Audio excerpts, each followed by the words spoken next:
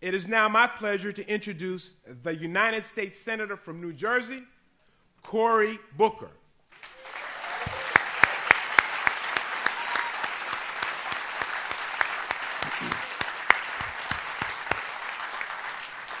After serving on Newark City Council, he began to achieve national acclaim as the beleaguered city's young mayor who took to Twitter well before it was a thing politicians hired staffers to do.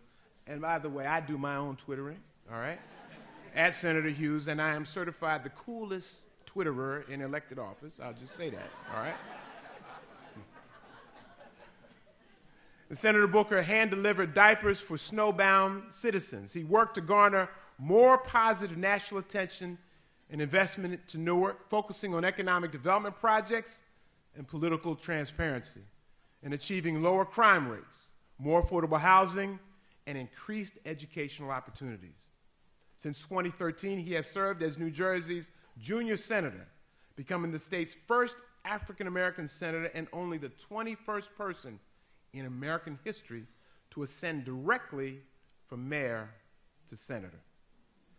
In his new book, United Thoughts on Finding Common Ground and Advancing the Common Good, we probably need to bring him to Pennsylvania. He offers candid personal and professional, you can applaud that, absolutely. Stories I could tell you. He offers candid personal and professional stories that illustrate the necessity of reorienting our civil discourse around empathy and solidarity. The Philadelphia Inquirer describes it as part biography, part call to action, and part ode to the people of Newark, and says it is full of his trademark grand themes and calls for positivity and cooperation, even as it describes harrowing scenes from his adopted home city. His talk tonight will be in conversation with fellow Stanford alum Tamala Edwards, the anchor of 6 ABC Action News' Morning Edition. Let's give her a round of applause.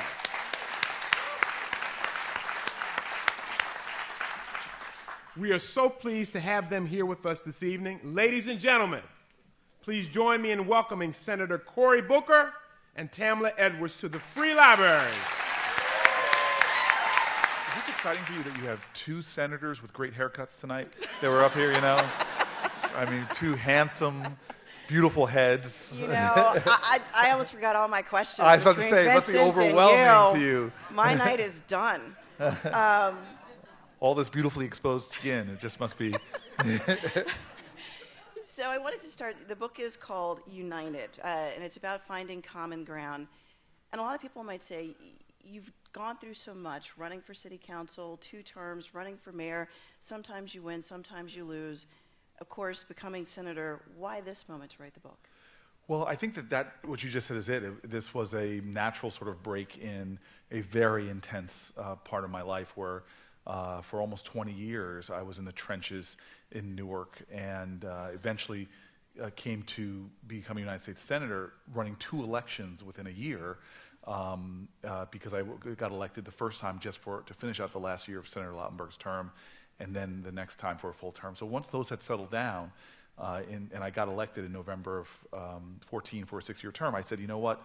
Now is the time to answer the question in a much deeper way that I got everywhere I traveled in New Jersey, and indeed, even outside of the state, where people seemed to lament to me about um, the divisions and the rifts they felt, the intractable uh, conflicts they felt in our society. And, and, so I began working on it in January of 2014 and had no idea it would be the hardest thing I've ever done in my life, which was writing a book. Uh, and finally, after my editors and publicist, uh, pub, uh, publisher uh, give me deadlines, which you and I both had to ask for at Stanford. Uh, um, me probably more than you. I, I, I, finally finished it. Now I should tell everybody. I've known of Cory since I was a college student. We were both at Stanford at the same time. And she tells lies two about me, Two years ahead of me. I was just, one of the young kids he ignored. That is not um, true. This is my She was one of the beautiful women I was too afraid to talk to. the first time I met him, he's like, "Have I met you?" So I don't think that was my line. That's all I had back then. That's all I had. So, have we met before? I have to say, in reading the book, because anybody who's watched the documentary or followed the news coverage of your race against Sharpe James knows it got pretty ugly uh, repeatedly. But in the book, the only time you really talk about him is in a moment of reconciliation when he comes to an event and the two of you end up hugging. Uh, you talk about a police officer who you had been at odds with who comforts you at the scene of a shooting. You talk about people who you had often thought were against you coming to your side. And I thought this is a deliberate choice because so many people would pick this up wanting to know your version of what happened. And you don't go there here. Why did you make that choice? Well, I, I think I've learned, and most of us know this from there are people that you play with on your football team that you would never think you would become friends with, but because you're sweating together, struggling together, you see their common humanity and you find their connections. We often fool ourselves into thinking that we have no bond with a person uh, and project that energy out. Um, you know, in the Senate, I've got legislation that we passed with Ted Cruz. And if I allowed, um, which was, God, Listen, there's yeah. a list of people in the book. It's like Hangman's Row that he says he's managed to work things out. With. Yeah, but but imagine if I, you know, Chuck Grassley and I and others now have this big bipartisan criminal justice reform bill. Imagine if I took the attitude that I could not work with this person. You're so different than me um, then I would have never have gotten to the point where we could produce something so uh, pr- productive. So what I wanted to do to folks is everybody knows about the conflicts I had with you know Mayor Sharpe James. The first big um, battle we had became the subject of an Oscar-nominated film, and I really recommend that to anybody here. That if you have a spectacular failure in your life, um, have a documentary team there to capture it. It's very it's very affirming and, and cathartic. But, but um, personally, um, to your point, I mean, he made it so personal. He made charges against you. You were from the CIA. You were from the Klan. You were from, I mean, the Klan. You were from but all the Klan, Klan is in white. vogue now. The Klan you is in vogue this, now. You were that. I mean, you were every, he, he, anything he could throw at you, he did. Yes. And so, can you, the question is, uh, life is not about what happens to you Life is about how you choose to respond. You can't control what other people say, but you always have the power to choose your response. And, and, and so for me, the, the power of that, and by the way, I wasn't always an angel in those conflicts. I, I sometimes succumbed to um, uh, responses that didn't reflect my higher angels. But I, I think what we need to understand is, you know, the people that I revere, I just was able to join with another Republican, Senator Sessions from Alabama, he and I chose to, to join together to give the Congressional Gold Medal to the marchers uh, that marched across the Edmund Pettus Bridge. Um, and those folks, whose names most of us don't know, we may be able to say John Lewis and maybe one or two more, but those individuals met hatred with love, they met darkness with light. Um, they chose how to respond to the most uh, awful, violent uh, bigotry and hate by showing their character. The people in South Carolina who are in an African American church, where gunman comes in, they, they shook the consciousness of our country by forgiving that shooter um, um, that, that so touched. I talked to Republicans in the caucus that were so moved by that, it led to finally, a, finally the dam breaking and them taking a Confederate flag off of their capital. So that's where we manifest our power, in, in my opinion. And so there was a, I, I, I take people through that moment on, uh, which was really a low for me, where I was failing miserably, not just in my job as a city council person, but I then disrespect, I talk about disrespecting the tenant president, um, this amazing African American woman president. Uh, it was uh, the worst of me.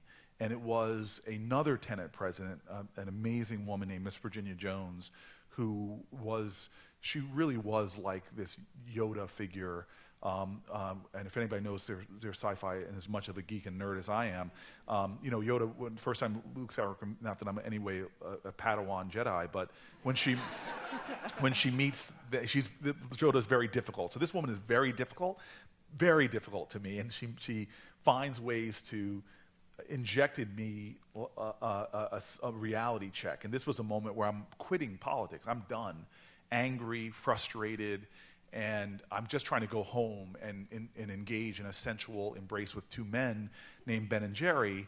Um, and, and I drive up to these high rise projects that I was living in, low income housing. Uh, uh, actually, at this point, I think they might have been public housing. And she's standing in front of the buildings, and suddenly I just start trying to figure out what's my geometry and physics lessons. What vector can I take to get past this woman? Because she's like the last person I want to see, because I know she's going to mess with me. And I end up walking up. She sees me. I grumble hello and try to walk past her. And then this elderly African American woman says, Don't you walk past me, boy. You know, she's like, gives me one of those. And I was trained right, so of course I have to stop. And then she throws open her arms, and I'm like, Oh, she wants a hug. So now I have to like go and give her the most insincere hug of my life, um, like the hugs you used to give me at Stanford. And um, um, and so, you know, then as I'm trying to get away, I try to release the hug. I try to walk back to my buddies Ben and Jerry. She grabs me by the arm. It's like the falcon had now clutched the mouse, the field mouse, and um, she says, "What's wrong?" And it was almost like she gave me license to let loose on her a year's worth of frustrations about being in politics, getting nothing done, and then I started complaining to her about the violent incident that had taken place at these other projects where the tenant president calls me up and I told her I couldn't do anything and she got angry at me and I got angry at her. And so I started telling her about this violent incident and I said, I can't do anything. I, I, I don't know what to do. I must have repeated that a number of times. I don't know what to do.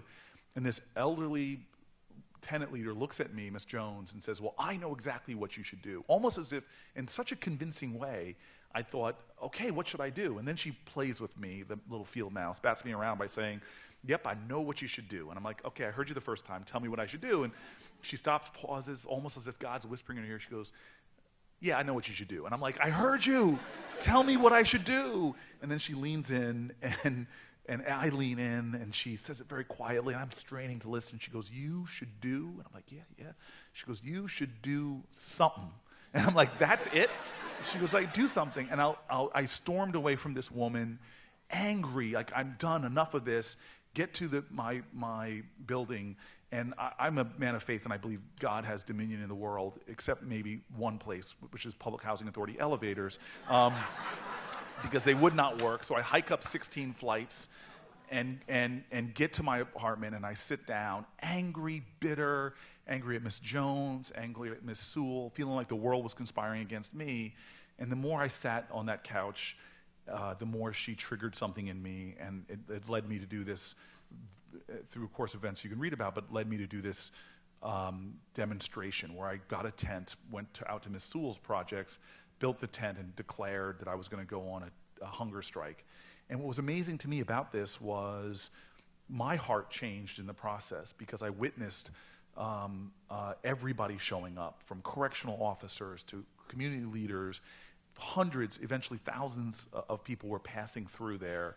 Um, uh, uh, students from NYU, uh, suburban mayor brought his police down, hospital screenings for residents, job companies came out to hire people. And the more I fasted, the more I prayed in the early mornings with residents. Um, by the time the mayor, who uh, uh, was not coming out, no city officials would, but after the 10th day, he comes out and what was, as you said, this, and interestingly enough, and I'm not, I have the best editors for this book, but this was written out, and I insisted that in, in an edit that do not take this part out, which was he comes up, uh, it, it, almost like a boxing match. I come from one direction, he comes from another. We meet in the middle of the tent, and I'm speaking first, so I turn to the crowd. And even the Star Ledger, uh, who I think was uh, sticking it to me, said, a surprisingly modest speech for Cory Booker. Um, and, and I just lavished him with love. And uh, when I finished, he hugs me. He puts away his prepared remarks that he had, and he hugs me. And the picture's in the book of our hug me and Sharpe James, and this is the part that the editor had written out because I think it sounds sounded strange to him maybe, but I smelled him. It was like I, as we were hugging, I breathed deep and smelled him, and it hit me because smell is a powerful trigger of memory.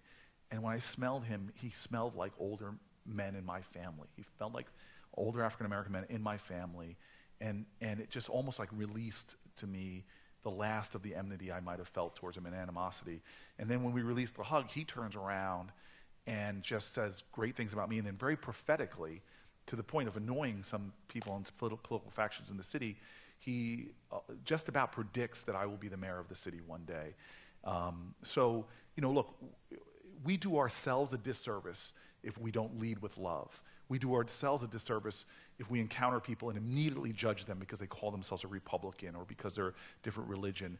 But if we open our hearts, and by the way, when you open your hearts, you're going to get it, it, it, makes you vulnerable but if we open our hearts to other people we're going to find something uh, that we can do together to i think uh, to do, make this world a better place That's a beautiful statement, but when I think of Donald Trump, my thoughts are a little bit more in line with John Oliver, which, if you haven't seen it, you have to Yeah. see it.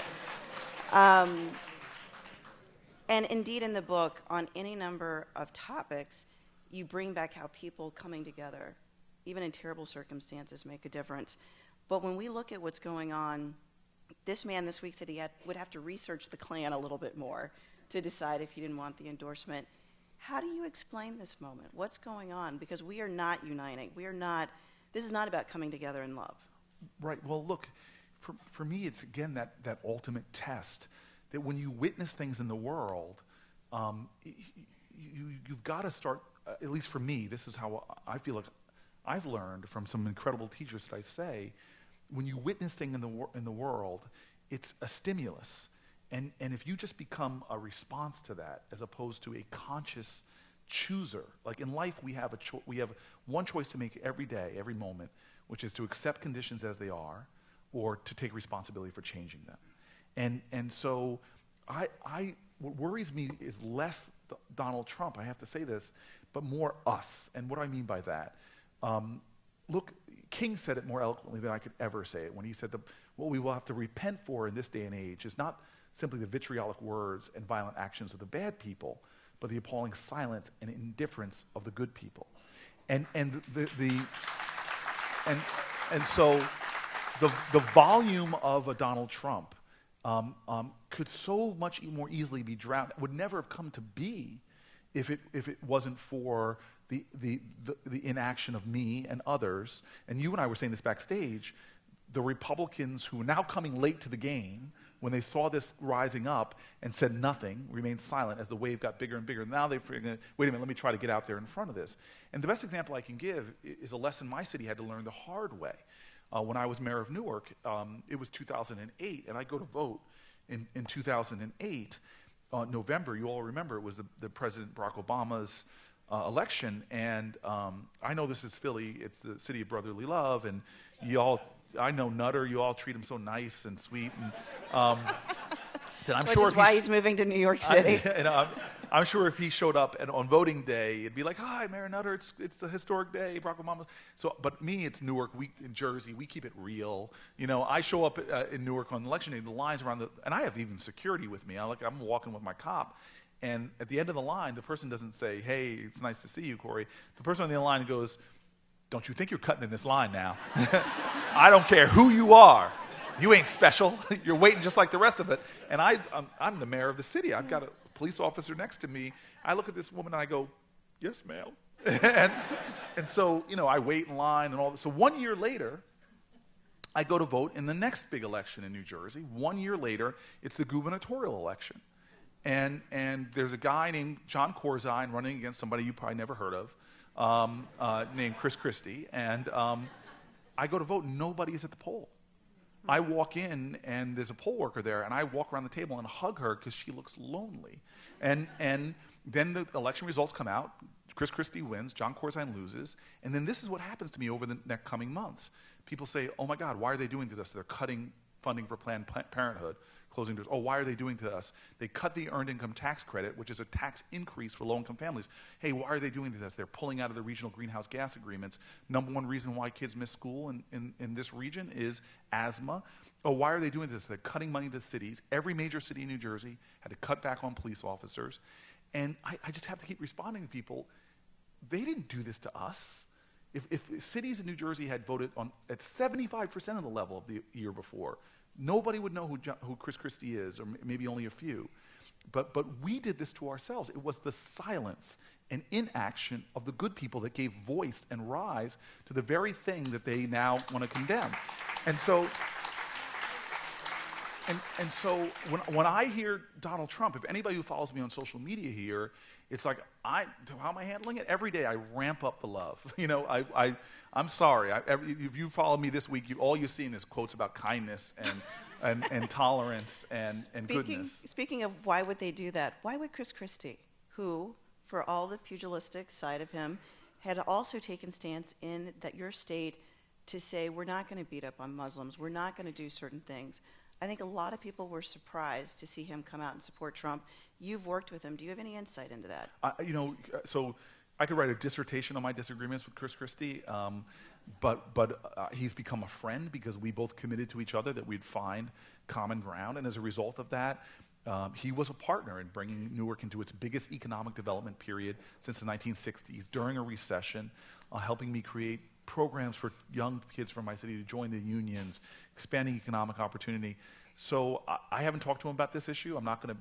I'm not going to beat up on him until I know what, what his reasoning and rationale is. I, I cannot fathom why, knowing him and knowing what he stands for, why he would support uh, Donald Trump. But again, that's him. Those are his choices. Um, we need to come back to what my choices are. And, and, and again, I, I, I, can't, I can't emphasize this point enough, and I'll make it in a different way that I make in the book. Um, you know, I am here. My parents made it clear to my brother and I that we were here because, not because of our own hard work and, and well being. Plus, trust me, when I was a teenager, I don't care, any of you who have teenagers here, they do, do not have more teenage swagger than I did at 18 year old. I thought I was somebody hot and special, you know, on my way on a football scholarship to, in, to the Pac 12 to Stanford. And my parents would just look at me and shake their head and like, you know, my dad would be like, boy, don't you dare walk around this house like you hit a triple. Uh, you were born on third base. Um, making it clear to me that all of us who are sitting here right now, as great as we are, as hardworking as we are, as self sacrificing as we are, we all drink deeply from wells of freedom, liberty, and opportunity that we didn't dig. We all sit lavishly between, before banquet tables prepared for us by our ancestors. And do not think that these ancestors were this great man, uh, man uh, uh, theory of history, that these, these people descended from Mount Olympus, the kings, the Kennedys, the Lincolns. No, we are here because ordinary Americans, just like us, did extraordinary acts of kindness, decency, and love. And the most powerful experience for me in writing the book was going back and, and, and interviewing people about the stories that I've been telling for years. And, and I was trying to fact check everything and get different perspectives. I definitely didn't want to write a book and then have a Dr. Ben Carson moment where I'm telling a story and, um, you know, love Dr. Ben Carson. I pray for Dr. Ben Carson. Bless um, his heart. Um, and and so, you know, there's a story that I've been telling for 20, 30, 40 years, really, that I learned about how, how did I, my family move into this uh, a predominantly white town. We were the first black family to integrate it. My father called us the four raisins in a tub of sweet vanilla ice cream.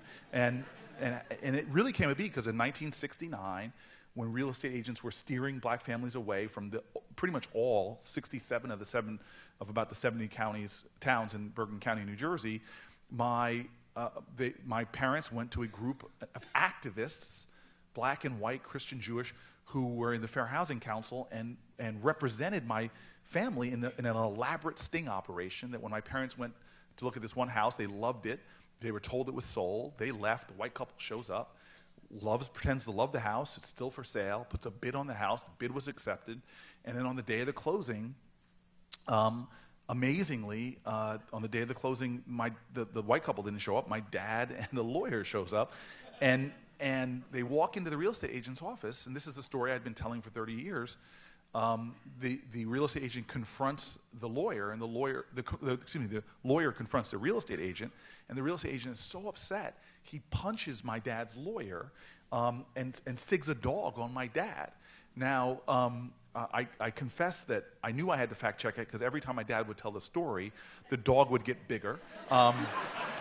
And, and, you know, by the time my dad was in his 70s, it was like a pack of wolves that the man kept in the corner. I don't know why he was keeping wolves, but, um, you know, so I decided to go back and I, I'm going to fact check everything. And so this shows you how we have so much power. Alice Walker says the most common way we give up our power is not realizing we have it in the first place. And so I go back and I find the head of the New Jersey Fair Housing Council, a woman named Lee Porter from 1960s. She is still the head of the New Jersey Fair Housing Council. Now, the woman this, this year she turns 90. Wow. And, and, and so I send a car to pick her up because I want to I want to look you in the eye. And she is uh, feisty and tough, and her stories confirm my dad's story, except for the pack of wolves. And, and, and then she gives me the name of the lawyers who represented my family. And so I call, I find this guy, Arthur Lessman, 84 years old. And then this is what gave me, what gave me chills, is I ask him, he, he basically explains to me that he was a young lawyer just starting out. And you know how when you're starting a new business, when you're young, when you're barely keeping food on the table and the mortgage paid, I said to him, Well, why would you suddenly do all this legal work for black families trying to move into Bergen County? And he goes, Well, Cory, I remember we made the decision on a Monday. And I'm like, How did you remember it was a Monday to a guy who can't remember what I ate um, uh, just for lunch yesterday, um, besides the Ben and Jerry's? Um, and so she, he basically says to me, I remember it was a Monday because the day before was um, there was these young people marching across a bridge called the Edmund Pettus Bridge. And, and he, they were so moved, he came to work and he told his partner Leo, he was a Christian, this, Leo was Jewish, uh, uh, two guys in a, in a, in a partnership, we've got to go to Alabama. And they both said, we can't afford to go to Alabama. And they decided, like so many Americans before us, that they would say, okay, there is a problem in the world. There's ugliness, bigotry. We're never going to solve it all. We're never going to change the mind of the Alabama governor. We're never going to change our mind. But we are going to do the best we can with what we have, where we are. Every little bit is going to make a difference. So they call up uh, around, find the Fair Housing Council, and before you know it, they're getting a file that says Cary and Carolyn Booker. Now, think about this uh, the bonds between us that are familial bonds. And in this book, uh, I get I get blown away thanks to Henry Louis Gates, where he uncovers my family history that I, brings basically a white family. It was my grandfather, my cousin, my first cousin sitting in the front row here. He and I both have a grandfather that was many shades lighter than his siblings. And so he goes back to Louisiana, scrapes some cheeks, finds out, finds the white family that is my grandfather's, was my grandfather's father um, solves that family mystery. And then next thing you know, in this elaborate show called Finding Your Roots, he basically explains to this white family that they have a black branch, including a black dude that's the mayor of Newark, New Jersey, and bring us together. So we are so much more mixed up than we care to admit, and we pass by people every day who could, just like this person, could be your first cousin, and you just don't know it. But then I, in this chapter, I tell you that, but the deeper bond is a spiritual bond. Think about this. I don't know the names of those people on that bridge. Some of them I gave the Congressional Gold Medal to with other senators and congresspeople. But their one little action, one small, I won't call it a little action, but their one action on the Edmund Pettus Bridge triggered a spiritual chord that instantaneously, unbeknownst to them, they changed the minds of two white men in New Jersey, getting them to now represent families, one of which was a, a family of four a kid that would grow on, go on to be United States Senator. That is the spiritual dominoes they set up through one act of courage, one act of love. We have that power every day in our lives. I often say that the biggest thing we can do in any day um, is often a small act of kindness, decency, and love. Those are the spiritual threads in our, in our world that we have the choice to make in the, when we are confronting ugliness or bigotry or injustice. That all we have to do is take one small action and not let our inability to do everything to undermine our determination to do something in the cause of love. In the book, you can clap.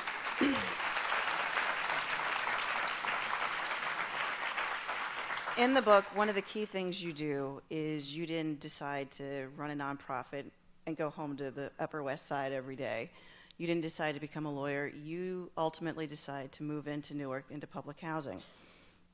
And you talk about uh, going in to see one of your mentors, and you would pass these young men selling drugs every day, and they'd look at you, and you'd look at them, and then you keep going.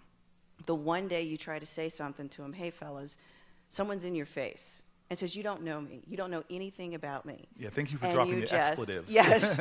and, you know, immediately the adrenaline surges. You just kind of make your way in, but palpitations essentially. And what came to me is as somebody I was so scared, I was scared. but it reminded me, I think, of a feeling, you know, Philadelphia. You know, some areas that are very wealthy, some areas that are not. Right across the river is Camden. And I think a lot of people imagine they would have that greeting if they tried to show up in North Philly, Southwest Philly, Camden, and interact. Someone would just say, You don't know anything about me, you don't belong here. And it's easier to keep people at a distance. What made you make that choice, and what would you say to all those people who just think, There's no place for me there? Well, again, so a lot of the book I'm celebrating other folk. Uh, uh you know, so there's at the very end of the book one of my uh, favorite sort of parts about environmental justice, which I wrote before the Flint uh, um, disaster, but it, it's kind of a chapter that says Flint ain't an anomaly. This is going on all over our country. And I talk about the story about a suburban woman who just decides to become a champion of urban environmental justice. So a lot of the lines we perceive are of our own imagination. And, and in fact, this moment when I first arrived, so, you know, again, I grew up in a very privileged town, but by this point I had worked everywhere from East Palo Alto to East, East Harlem, but I had just never seen anything like this, this section of Martin Luther King Boulevard um, that was just so jarring to me. In fact, as I was moving in, um, stuff got stolen from my car as I was carrying it and it came back. And so, so, so in the, in the, the nonstop drug dealing, the crack house I was living next to, it was very jarring to me. And, and when I went to meet Miss Virginia Jones, who I mentioned earlier, because she was the tenant president, um, she, uh, you know, I show up, I'm a Yale law student, and again, I had that swagger, and I'm thinking I'm like John Wayne, I'm going to ride into town and make this place better. And, and you know, I knock on her door, and I might have said something like John Wayne would say, hello, little filly. I think I did say little filly. um, you know, I'm Cory Booker, you know, I'm here to help you, I'm here, you know.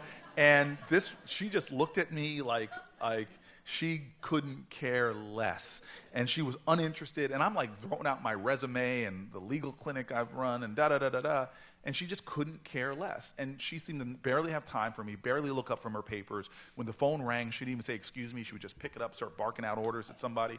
And I'm like thinking to myself, like, this is like an interview, and I'm failing an interview. And of course, my arrogance is like, I don't fail interviews for crying out loud. And then she did something to me in those early interactions when I was really put off by her.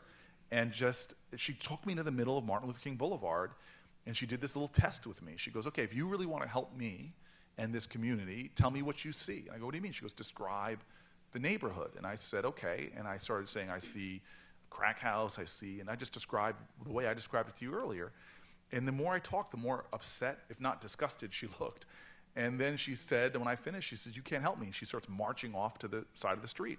And so I chase this woman down, grab her, very respectfully, mind you. And um, this is very Luke and Yoda. He has to chase after Yoda. Yeah. Remember? Maybe it all comes back to sci-fi. I have to say, no. But so she wheels around. I say, "What are you talking about?" And this woman, she's like five feet tall. She looks up at me, and she says, "Boy, you need to understand something. The world you see outside of you is a reflection of what you have inside of you." And if you're one of these people who only sees problems, darkness, and despair, that's all there's ever going to be. But if you're one of these stubborn people who every time you open your eyes, you see hope, you see possibility, you see love, you see the face of God, then you can be one of those folks that helps me. And she storms off. Now, I went, I came correct, and, and, and now I came with love, which, you know, open hearts, open hearts. And I, I really do believe that love is humility more than one of the fundamental components of it. And I started learning from her, and she took, she gave me menial tasks to do in the beginning, from carrying boxes, putting up uh, flyers, to eventually I got my law degree, passed the bar, and now I was doing more. Eventually, the slumlord in the buildings gets convicted. It's just like a long odyssey. So here I am now, fact checking, asking. So I go back and I find everybody I could uh, that was around in the mid 1990s when I show up on the scene, even tracking down the guys that were dealing drugs that first so intimidated me. And you know, the, one of the guys who was a, a drug kingpin, like I I mean, straight out of like New Jack City in The Wire. I mean, his his business acumen um, in an illegal way was was stunning to me. And and but he's like, oh, Cory, By the way, I, I told him I will change your name for the book. He's like, no, you tell him who I was. And I'm like, okay.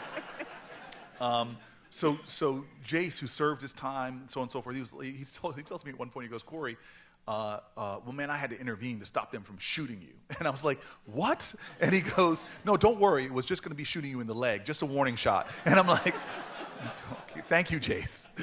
thank you very much. So I interview everybody. And then the moving part for me, Miss Jones has now passed away. And again, I know this woman. By the, by the, by the end of her life, um, we are bonded in a powerful way. And, uh, you know, as I said earlier, I, I, say all the time I get my BA from Stanford, my PhD on the streets of Newark, and this is one of my great life professors.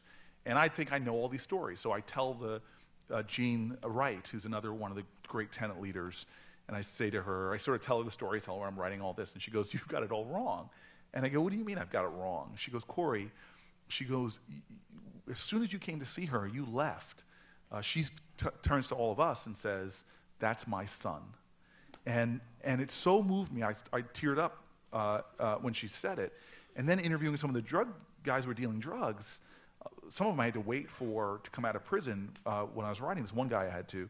Um, they said to me, one of them says to me that, you know, Miss Jones came down and told them to leave me alone. And again, she used this word because he is family. Now, now, so for me now looking back, here's this woman that took this arrogant, um, uh, young 20 something and saw in me things I didn't see in myself. And even though she wasn't going to relent on her toughness and her tough love, um, she did change realities with the power of her vision. And so I, I can't, I, I'm sorry, and I know this sounds crazy, but um, I'm so offended by what Donald Trump is saying. And, and, and, and not just do I hurt for um, uh, the, the victims, I would even say, of, of what he's, he's spewed in this election. I, I hurt. Um, I hurt for the children that look, look up in our political landscape and see this behavior. I've traveled in, in, in, January, I was in Saudi Arabia, I was in Turkey uh, with allies of ours, sitting with heads of state, and to hear what they're saying, like asking me, is this what America's thinking these days? So it's an international embarrassment. It hurts us in our alliances. But I'm, I'm still telling you this that I, I still feel called to love him. Now, loving him doesn't accept his behavior, it doesn't, it doesn't justify his behavior, but, but it puts it on me again to say, I have the power to choose my response. You are not going to contort me. You're not going to drag me into your gutter. You're not going to make me into something that I'm not. Uh, I'm still going to try to be a person of light and a person of love. And by the way, the more darkness you spew, the more light I'm going to try to emanate. The more hatred you spew the, spew, the more I'm going to try to rise to a higher level of loving. And that's our traditions in this country. That's our history. I'm reminded of a line from Hamilton where he sings, Hate the sin, love the sinner, which it sounds sort of like that's the philosophy. And I was reminded of something you wrote in the book, where I get my education and where I get my schooling. Yes. Maybe two very different places. very places. different places. And, and I just want to say, like, like, what people don't understand is that I think our country demands it. Uh, when I look at, and I, people probably thinking this senator up here is talking about love, and, but, but, and thinking I'm strange, but look, patriotism is love of country. Mm-hmm. And love of country, in my opinion, I feel very strongly about this, necessitates loving your countrymen and women. Don't tell me you love America, but you hate Muslims. Uh, don't tell me you love America, uh, but you hate Latinos. Um, we are in this together, and we, we share a common destiny. And, and, and what bothers me about our country is we seem to be settling in a cynical way and aspiring now that we should be a country of tolerance. Oh, this person's not, to- tolerance is the way to be. No. Tolerance is basically saying, I'm going to stomach your right to be different. And if you disappear off the face of the earth, I'm no worse off or better off because I was just tolerating you anyway. while, while love is what we're called for, which is, says, is a, in, in a recognition that I need you, that you have worth and value, and that, that actually, when we work together, uh, we can make a better country together despite our differences. In fact, our differences matter, but our country matters more. So let's figure out how to work. And, and, and this moving beyond tolerance should be our aspiration. If you look at the, the founding of our country, which, by the way, I believe we make a tragic mistake in this country when we try to sanitize our, our, our history of all the wretchedness, the bigotry, the hate. That is so important to the story of our country because our story of a country is, isn't just those things. Don't get stuck there. The story of a country is overcoming those things to greater levels of freedom and justice. And that makes us even greater the fact that these streams have existed and still exist. Now, the, the, the, if you look at our country, though, there's these perfect ideals that were put forth, even though savagely perfect reality. If you look at our founding documents, Native Americans are referred to as savages, women aren't referred to at all. Stokely Carmichael used to always say, constitute, constitute. I can only say three fifths of that word. Um, um, but, but, but, the, but the, the value in those documents, I, I, when I read the Declaration of Independence, that ending lines, it says, we, we, in order to make this true, this country true and real, we pledge to each other our lives, our fortunes, and our sacred honor. this country, in, in this Declaration of Independence, there's really a declaration of interdependence, that we need each other, the best of each other, to make this thing work. Like the old African saying, if you want to go fast, go alone. But if you want to go far, as a family, as a community, as a nation, we got to go together. And that to me is a, a great tribute to the ideal of love. Uh, um, um, that, that when we made leaps uh, in this country, it's because we, we, we created uncommon coalitions that achieved uncommon results. Last question for me before we get to the crowd. In the book, you talk about a number of things that people in a place like Newark face, whether it's poor housing, um, jobs that don't nearly cover the cost, environmental pollution, but no chapter may be as searing as the one on mass incarceration and the cost to families. You say that poverty might be 20% less if so many people were not locked up. You talk about holding a meeting and men just walking out saying, You can't help me. I've been fighting this record for forever and I'm never going to get a job. Michelle Alexander, who you quote in the book, who's married to a classmate of ours, writes about this in the new Jim Crow, and she's been very hard on Hillary Clinton, saying she didn't earn our votes. If you look at the Clinton policies, that they have created a lot of what you saw. You've been very supportive of Hillary Clinton, who is winning big tonight. Tonight be the night, maybe the night that decides it for her. Seeing what you saw, what made you decide to give her your support?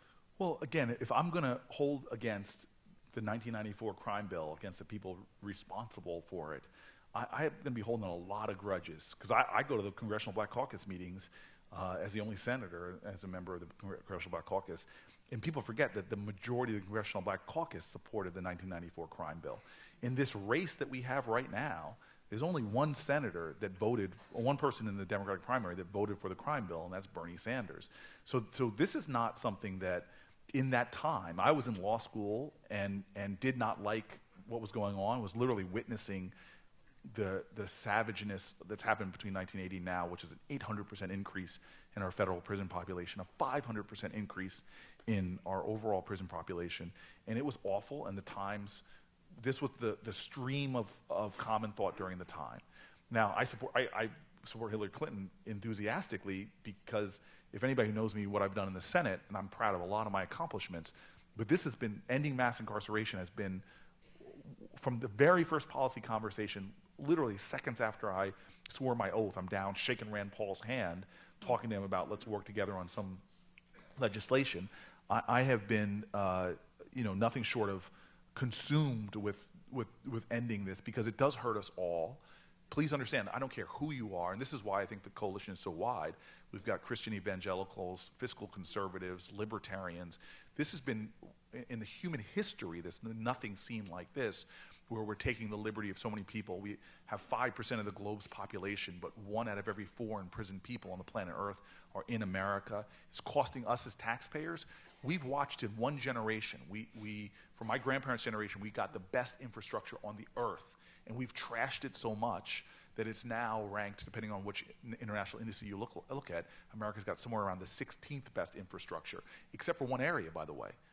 While, while we were going down in our investment in percentage of our uh, GDP that we're investing in infrastructure, uh, it's now down so low that Europe is like twice our, their investment. China is four times, except for one area costing us trillions of dollars, where we're creating the globe's unprecedented biggest global investment in this type of infrastructure than anybody else. Between 1990 and about 2006, this country was building a new prison every 10 to 12 days. Mm-hmm. And, and, and, and so, you, if you are a taxpayer in this country, this is one of the gro- most grievous wastes there are cancer on the soul of our country because it's not only wasting us money, but it's causing us more crime. Because, by the way, when somebody comes out of prison, can't get a job, can't get food stamps, can't get a Pell Grant, can't get business licenses, can't vote, please understand that when you take away all the options for someone to feed themselves, clothe themselves, take care of their kids, don't be shocked that it's a 75% recidivism rate then. And, and, and then who we imprison is, is probably the most ignominious aspect of all of this, which is um, uh, it's almost like, and I don't mean this to be too flip, but if you take the Statue of Liberty, the beautiful poem on that statue, and you read it, uh, and read the whole poem. It talks about the homeless, the poor, the hungry, uh, the tempest tossed, the wretched refuse of a teeming shore. It's almost like you could, you could spray paint on the bottom of us, give us these people because that's exactly who we're going to imprison. Because, it, you know, as, as, as, as is said by everybody from Baldwin to Mandela, if you want to see the real character of a country, don't go to their halls of power, look at who they imprison. We imprison in this country overwhelmingly the poor. As Bryan Stevenson said, we have a nation that treats you better if you're rich and innocent than if you're poor, excuse me, rich and guilty than if you're poor and innocent. We, we overwhelmingly incarcerate the mentally ill. If you're mentally ill in this country, your chance of going to prison goes up dramatically. Uh, and, and, then we do things to you when you're in prison that trigger and worsen your mental illness, especially doing like things like juvenile solitary confinement that human rights groups call torture. If you are, uh, if you are uh, addicted, the, the, the, significant portions of our population, are, prison population, are addicted.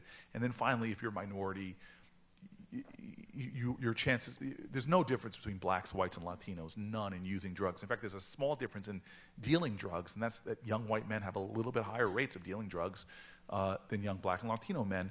But blacks will be arrested uh, almost four times more, more for that crime. And, uh, and, and they'll be, uh, you know, they'll be Latinos twice. And by the way, correlates really wonderful with felony disenfranchisement which you, some of you all watching these elections, please understand in swing states like Virginia and Florida, one in five black people have lost their right to vote at four times the rate that, that, that whites do. And remember, four times more likely to be convicted of a drug crime, four times more likely, uh, roughly, uh, to be to lose your voting rights. So I say all that stuff to say there's nobody that's more urgent. I've seen the devastating impact of this on communities. And by the way, Lots of people get it. Sesame Street gets it so much that we're incarcerating so many people that now they have programming. You want to cry tonight? Go home and put in Sesame Street incarcerated adults. They do programming now uh, on Sesame Street, little vignettes for children of incarcerated adults, because in many of our city, one in nine uh, black kids has a parent that's been incarcerated. And so, you know, what moved me about Hillary Clinton is, and, and Bill Clinton himself, that I was an Obama supporter. I'm an 08. Like, I was one of the first people in the tri state area, New York, New Jersey, Connecticut, one of the first ma- major political figures that got on the Obama train and, and fought hard for him. Um, and even during those that period, uh, the Clintons reached out to me uh, to talk about issues like this. Uh, uh Bill Clinton, Hillary Clinton both have apologized. Uh, um, I, I haven't heard Senator Sanders do it, apologize for his vote, except to say, well, there was some great stuff in that bill, which there were, about domestic violence. But I'm sorry, if you wrap something good in a whole bunch of evil, um, it doesn't make it good to vote on. Um, and, and, and what Hillary did to me before this run up to this election is she, talk about, and maybe this was her brilliant recruiting effort, um, but she came to me, and to her, to her credit, she didn't just come to me and say, hey, I want your vote. She came to me and said, I want your ideas on criminal justice reform. And then before I knew it, her opening statement in this whole election, her very first policy statement, was a long speech on mass incarceration and ending it. She didn't do this just when she was turning to South Carolina.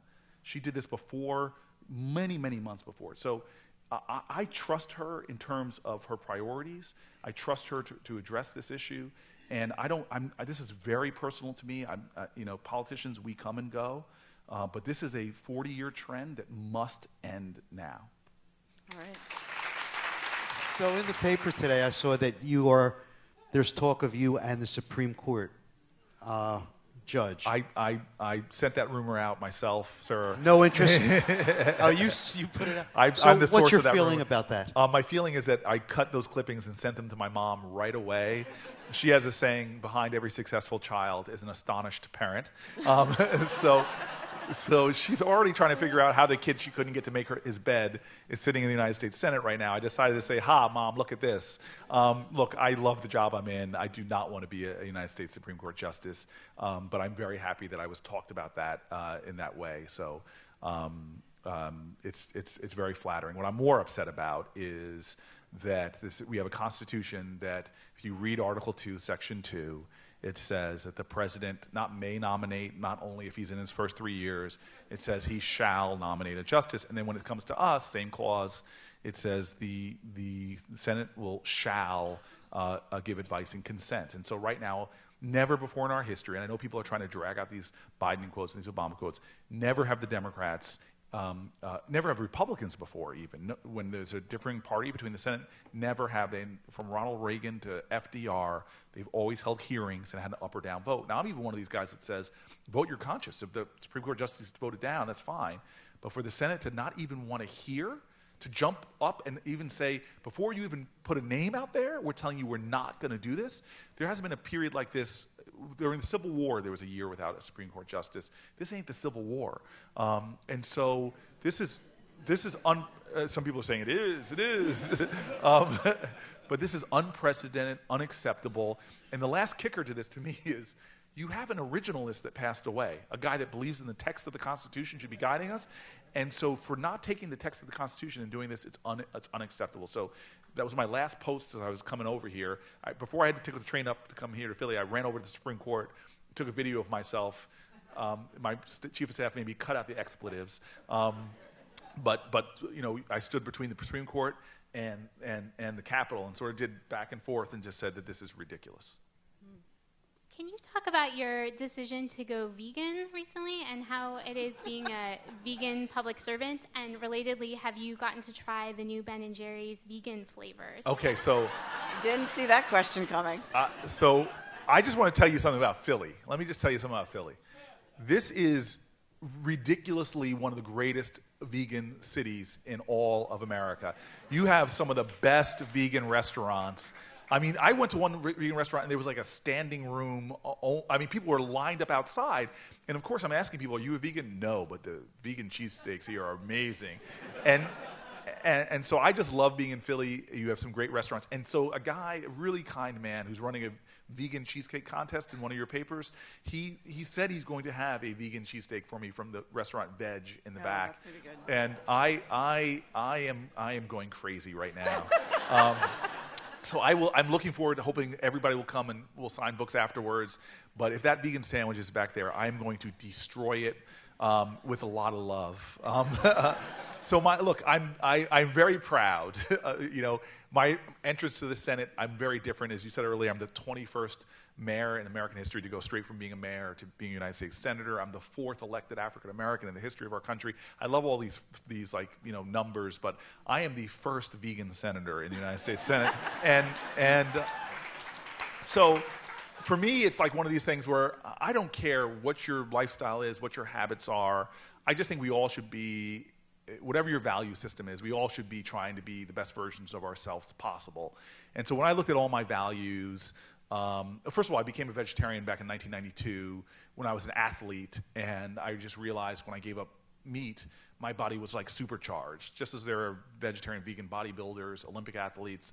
Um, in fact, if you look back in ancient Greek, Greece and their athletes, they were they not eating meat was something seen to be making you stronger.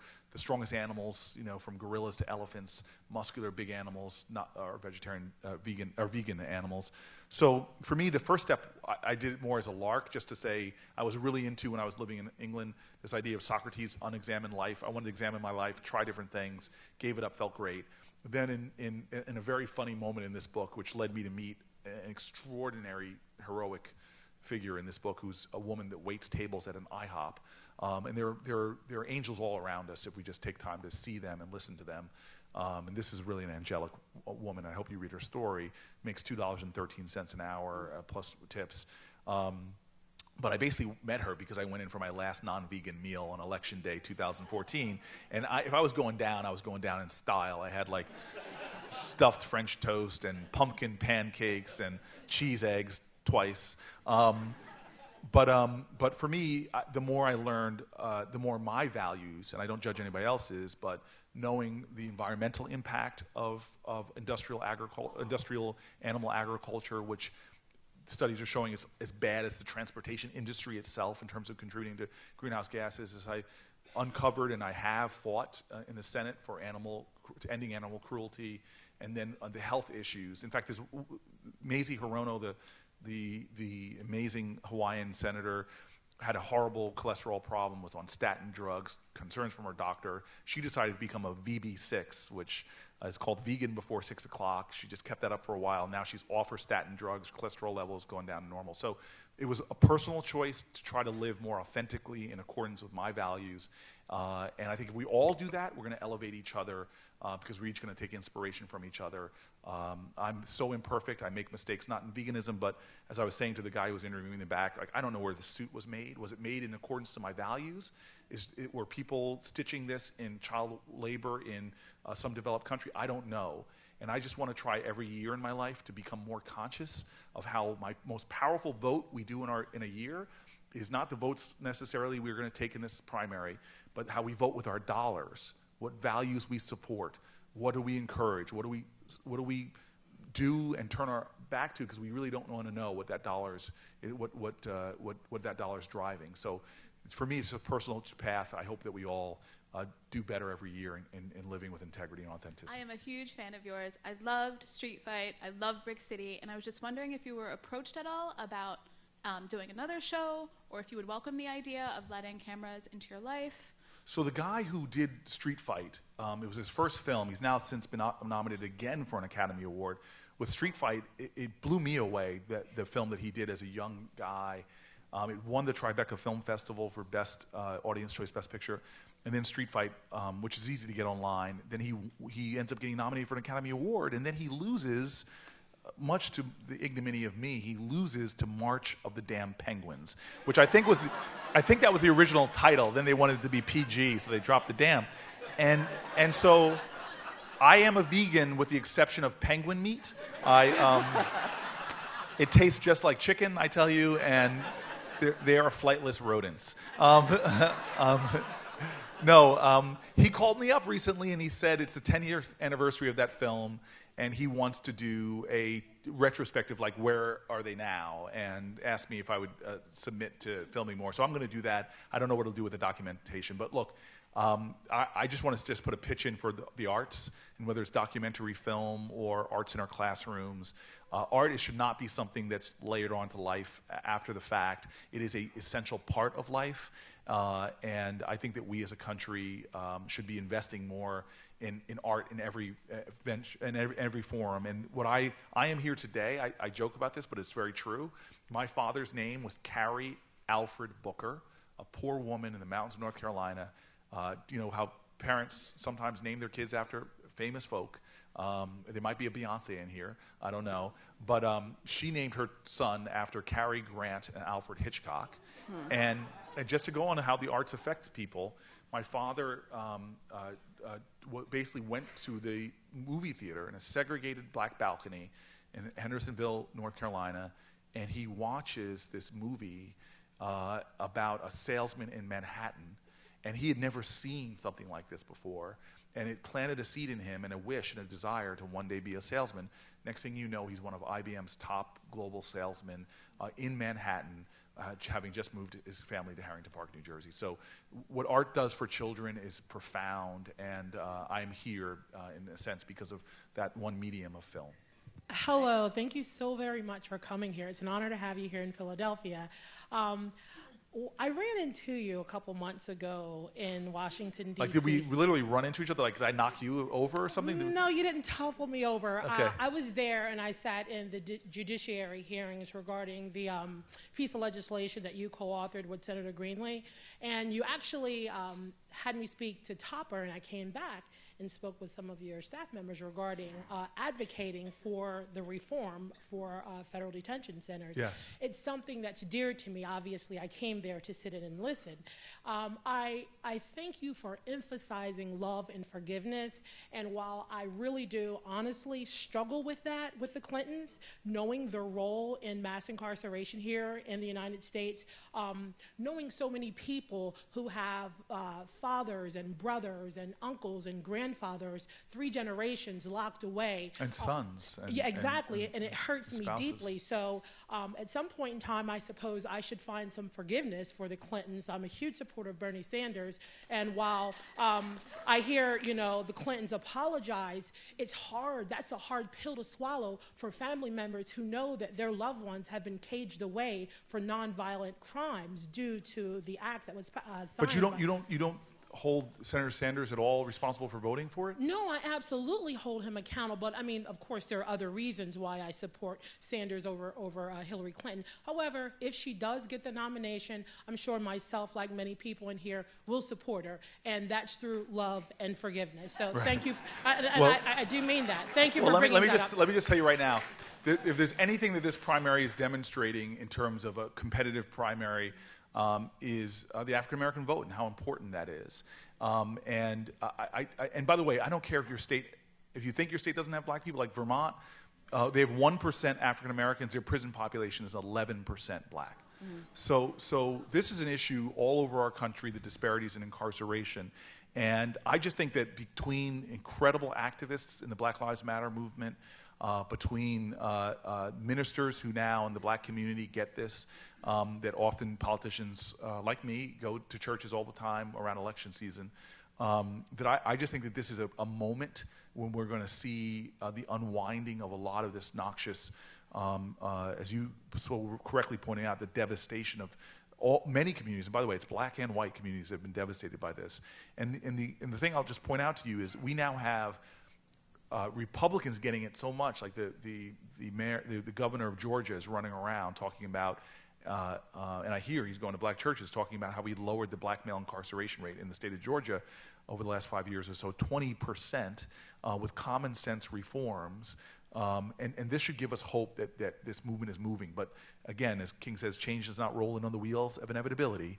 Uh, we're going to have to keep fighting for this until the day we, we don't become an anomaly in humanity, uh, but we become the example of a just criminal justice system. I, I was just wondering whether you and Gavin Newsom have decided among yourselves who should be president first before the other. Um, so, uh, so first of all, if, uh, Gavin and I just did an event in at the Castro Theater in New York, in, in uh, San Francisco. Um, an amazing night. Uh, one, two thousand people showed up for a conversation like this in this very famous theater, and I was teasing him mercilessly because he's been a friend for a long time. Um, but in all seriousness, that you've given me an opportunity to talk about when I fell in love with Gavin Newsom. Um, I, I can see the headlines right now: Cory Booker in love with Gavin Newsom. Um, but um, you know, he was one of these guys and it, it, against the, broke the law to issue marriage licenses. This was before it was in vogue, before a lot of politicians had evolved, and was being blamed for losing the 2004 presidential election because of his, his strident stance. When I became a mayor two, two, two years later, um, uh, as we take inspiration from each other, I immediately, the first flag I raised in front of City Hall was a pride flag, to which I got lots and lots of hate calls. And they weren't anonymous hate calls. There were people calling me up telling me exactly who they were and, and where I could go. Um, and I, I pronounced that I would not, you know, mayors can perform marriages. You know, I pronounced that I would not uh, marry anybody as, as a mayor of my city uh, until everybody could marry, and then which prompted my mom to call uh, angrily and say, um, I, I don't care if you marry other people. I just want you to marry one person. um, um, please marry somebody. Um, so, so, you know, this has been a huge leap that I think he was one of the early trailblazers in politics. And I just want to remind us, you know, this book is all about empathy and seeing each other. Well, right now, as we speak, there are LGBTQ uh, kids getting bullied, uh, being kicked out of their homes. One of the homeless populations, driver for, one of the biggest drivers for youth homelessness is often uh, uh, parents who are not accepting of their youth. Uh, uh, we still live in a country right now where you may get married in most states, but most states, if you post that on your Facebook account and your employer sees it, they can fire you just for being gay, um, and you have no legal recourse. Um, they can kick you out of your apartment just for being gay with no legal recourse. So we have a long way to go, and I'm happy that there's still champions like Gavin Newsom uh, who are willing to fight for it. And I'm proud to be one of the original co sponsors of a bill that would end that injustice on the federal level. Okay, last question right there. You've mentioned how important sports has been in your life, and sports is something that could unite the country. But even here, there's so much controversy, um, and, and I'm wondering um, what your opinion might be uh, in light of um, what we know about concussions, the toll, um, how men are exploit, how young men are exploited. Um, would you let your son play football? So that's been the most, honestly, as I've traveled, that's been the, one of the most difficult questions I've gotten about would I let my son uh, play play football, and it gets my mom excited when anybody talks about me having children. Um, so. Um, so I, I can't honest, I can honestly say right now what I think and what I believe is yes. I mean, uh, I got into Stanford because of a 4.0, 1600, 4.0 yards per carry, 1600 receiving yards. Um, it's, it's tri- just being honest with the crowd here. Um, um, you know, it, it's so it's defined so much of who I am. But but there is a problem, even in NCAA football. I, I the only time I really lost my temper was when the head of the NCAA came, and I just wanted to. I, I mean, I, how can we have a nation where a kid can get a scholarship to play football but blows out his knee, then they yank the scholarship from them? Um, uh, how can we have a nation where you um, have poor kids who might get a scholarship to go play someplace long way away? They can't even afford the scholarship. They even the NCAA even admits is hundreds of dollars short for the total costs. They, they used to do part-time work to help support the family, and now uh, the, the, the, university can make millions of dollars off of them, off of their image.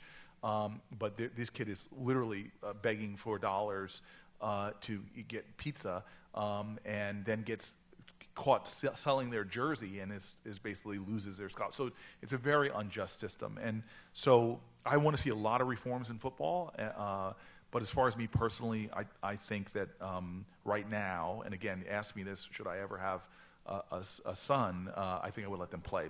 But a daughter too, I would let her play, especially. um, but if I could. this is Philly's rough. Maybe I, maybe I, I take it back what I said. Yeah. City of brotherly love. Come on. but let me end with just one point uh, that, uh, that I think a lot of people have made here, and, and, and especially some of the questions before. And I, and I just want to end with, with this um, very important point, and it's the one I try to make in the book, which is this. Um, you know, this is not a kumbaya, Rodney King, let's all get along book. It, it, it's so far from that.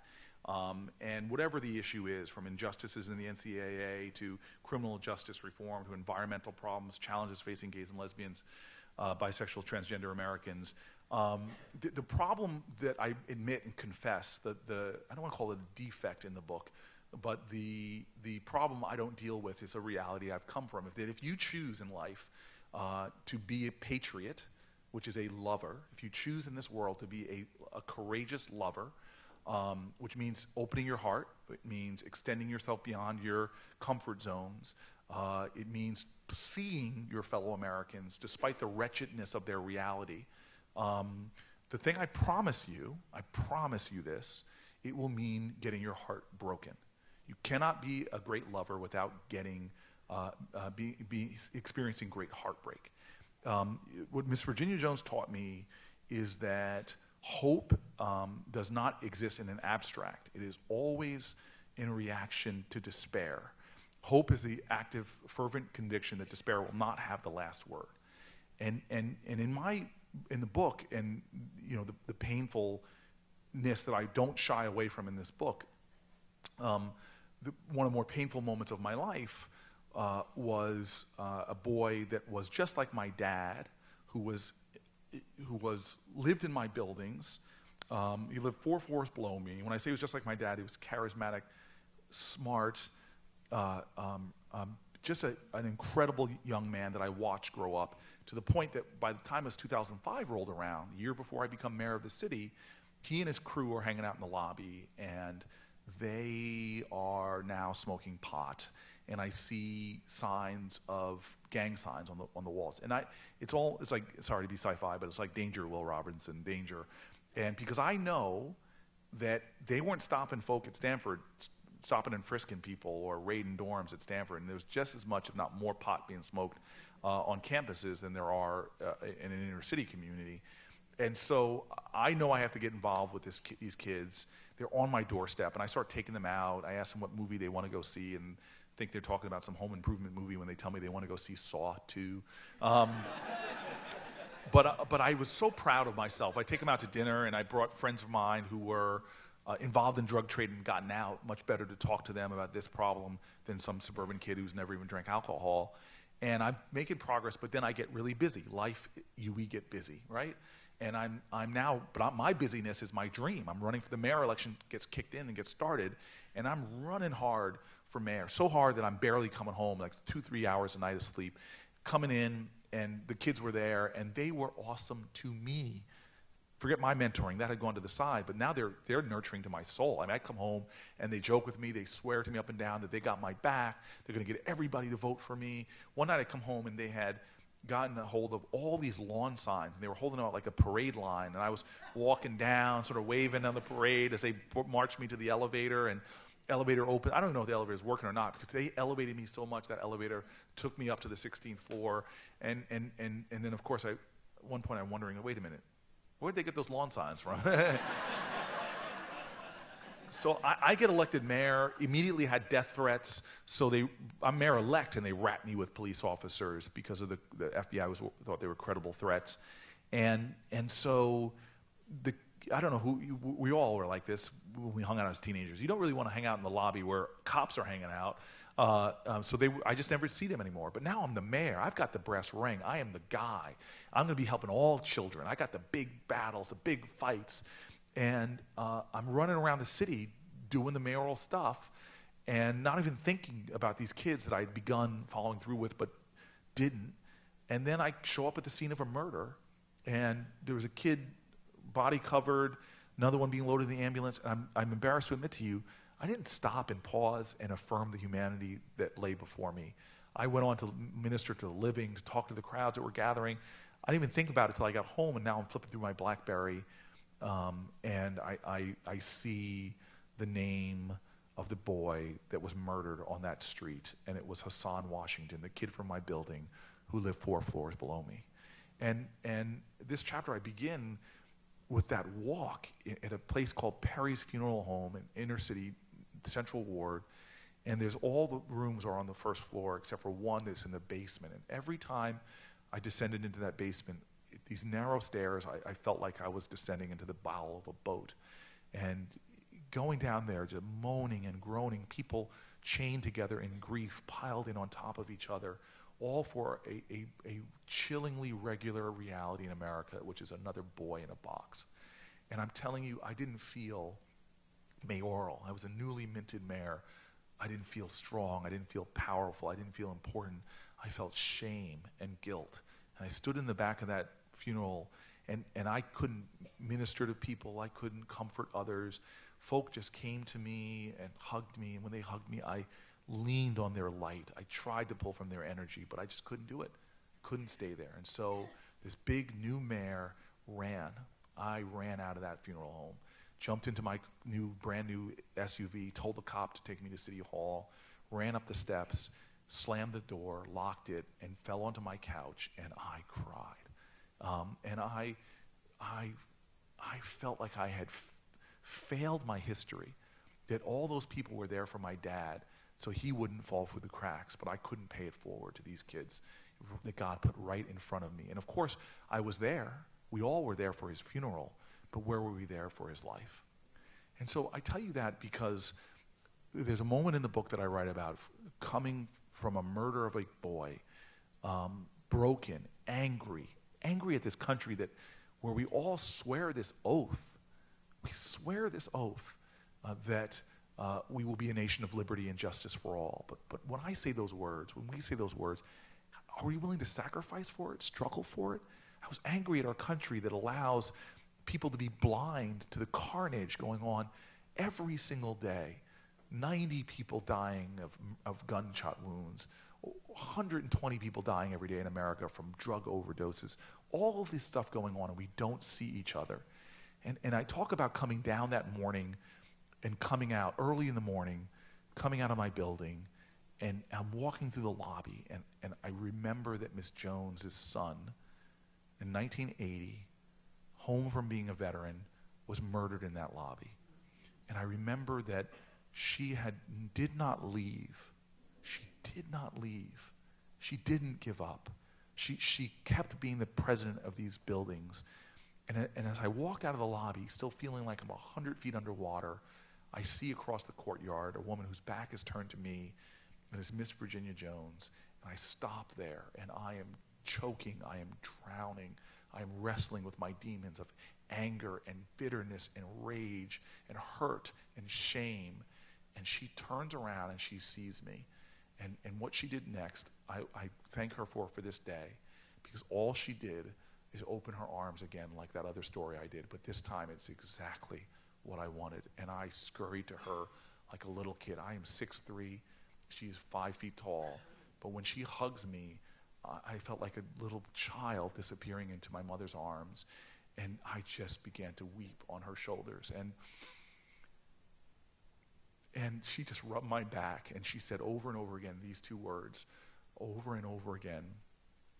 Uh, the words that sustain me to this day, words that I repeat to myself when I am banging my head in the Senate, words that I used in the worst times when I was mayor, uh, words have nothing to do to me with religion, but have to do with a loyalty, a fealty to our nation's ideals, to the concept of love.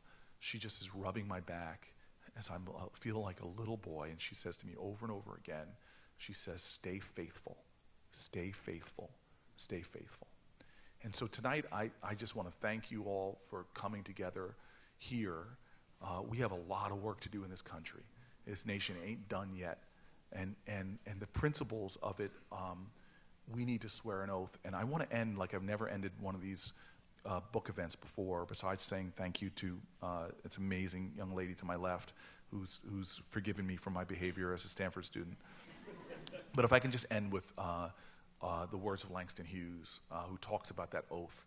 Um, and, and he says, in a powerful end of a poem, and I hope I get it all right, he says, Oh, let America be America again, the land that never has been yet, but yet must be, the land where everyone is free the poor man, the Indian, the Negro, me. And who made America? Whose sweat and blood, whose faith and pain, whose hand at the foundry, whose plow in the rain must make our mighty dream live again. Oh, yes, I say it plain.